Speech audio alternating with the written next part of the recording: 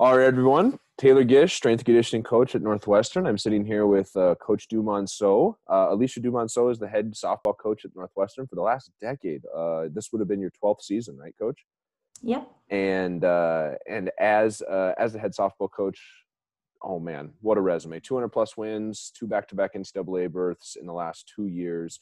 Um, but beyond the coaching resume, one thing I look up to Coach du'Monceaux on is her ability to bring together her rosters, rosters, mind you, that change um, year to year with incoming students and graduating students, and build kind of a cohesive team relationship that is really evident anytime I interact with or interact with her squad is that relational piece. And we know with the current climate right now that relationships are hard to foster. And, and so what I wanted to get Coach du'Monceaux on here to speak into was, um, you know, the importance of relationships and, and how to foster them. So um, was that a good intro, Coach? Anything you'd like to add there about you personally? No, you knocked it out of the park. Thanks, Gish. Oh, with the with the softball puns already, I yeah. love it. So, um, so much of the sporting experience uh, is relational, um, especially with the team sports. Uh, how, in this current uh, situation right now, the pandemic, are you, coach, connecting with the softball squad? Sure. So we have Zoom meetings uh, once a week as a whole team, uh, which has been really fun to see everybody's faces, get everybody together, and then um, throughout the week, the girls, you know, I'm I'm trusting and hoping that they're connecting with one another and encouraging each other throughout the week. Um, I send, you know, accountability groups for um, a devotion for our team to go through so that they can connect on a deeper level throughout the week and um, we just you know we're trying they did a fun video together. Oh, so cool. anything that we can do to be creative to stay together is kind of our key.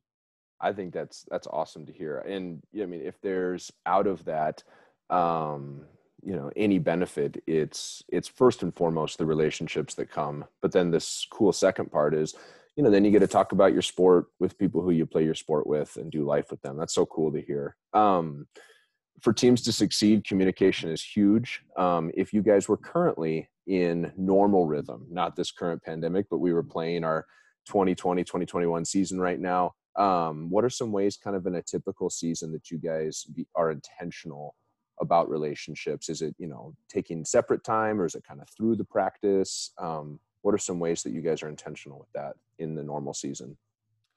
We uh, we love doing service projects as a team. That's oh, something nice. that's pretty unique to us. Um, we try to do once a month. We actually had something set up for March and we got back in a nursing home, which um, obviously we weren't able to do. But uh, we we do do some different service projects um, throughout the year, which is really great. Just that off-field connection, I think, is so important to build those relationships apart from kind of our skill set because uh, we don't want them to find their value and worth um, as a member of our team in just what they can do for us on the field. So oh, that's great. Um, so we do different things. You know, any holiday is a great excuse to get together and have a team gathering. Um, we actually on Monday, um, this is a little insight into our team, but uh, the last practice of regular season on a Monday, we have a day called Mustache Monday at practice.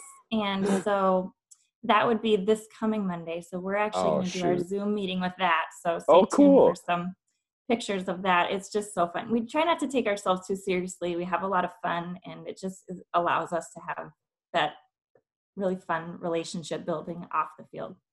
Not uh, having worked with uh, many softball athletes prior to my time at Northwestern, that is correct me if i'm wrong that's also kind of a fun part about just like softball culture at the collegiate level too and, and you guys put that northwestern spin on it that's so cool. Um, when you look to communicating um, to the squad about um, you know principles of healthy relationships or ways to kind of establish relationships and connections what are some of those like key behaviors or key traits um, or things that you associate with a positive or with a healthy relationship? Um, a lot of things. I would say, you know, I have. It's, um, it's a big question. yeah, Philippians um, two one through four is a passage that we've talked about over the years. Some teams have adapted it as a team verse, but um, I'll just read it to you and then add something else. It says, "So if there's any encouragement in Christ, any comfort from love, any participation in the Spirit, any affection and sympathy, complete my joy."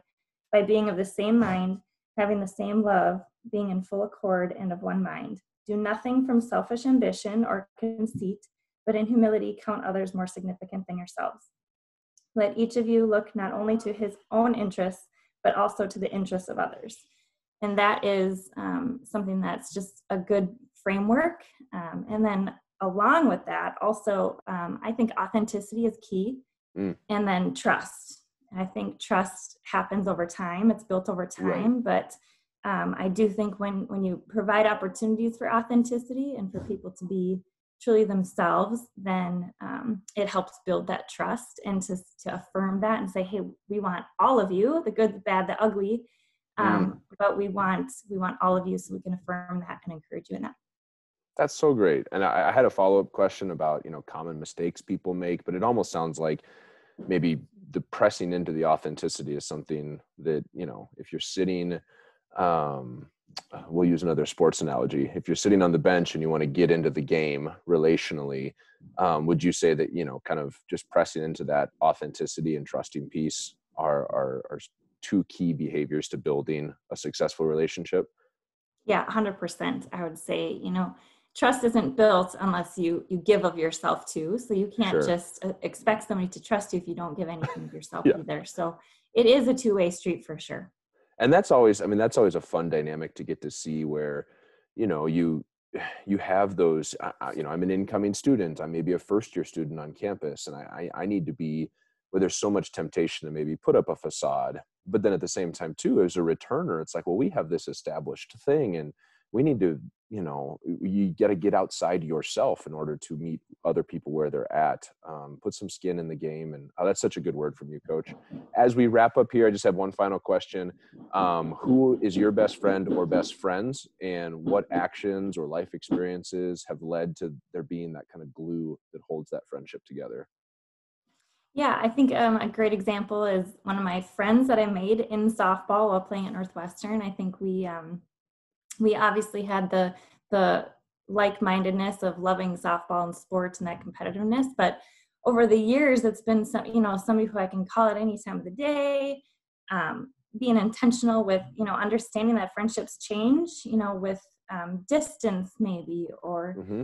um, different seasons of life but um, that intentionality is key and so um, i think there there's a, a, real adjustment that does take place over that longevity of a friendship but um, if you're willing to like you said before like put skin in the game and, and to to work at it and to to be all of you and show all of yourself to, to somebody else it, it can be really rewarding that's awesome.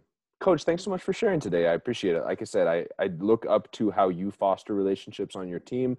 Um, as someone who doesn't have a team i just get a benefit from the byproduct of teams that have awesome relationships. And uh, we're filming these videos as a benefit to all eagle athletes so um, hopefully, you guys were inspired today. Um, you know, if you're softball players, uh, you're hearing a lot of things you've probably heard before. But if you're not on Coach du'Monceaux's rosters, or um, hopefully an inspiring and encouraging word today about building some relationships, always, but especially in this time when we're not uh, rubbing shoulders together around campus. So, thanks for your time today, Coach du'Monceaux.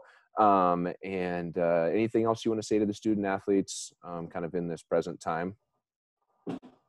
Uh, no, I think just thanks for having me. I think the biggest thing is just to continue to, you know, put your nose to the grind, but don't forget to have fun. I think that's really important. Sure. If we're not having fun, we're doing something wrong. That's a big thing with softball, but also in, in our house here, I have three boys and um, I think it's important to, you know, not take it too seriously and understand that it's going to be maybe a hard day, a great day, but just to take each day at a time and to, to continue to do your best. Love it. Stay on it one day at a time. Have some fun. Mm-hmm. Coach du'Monceaux, wise words. Thank you so much for your time today, Alicia. Thanks, Gish.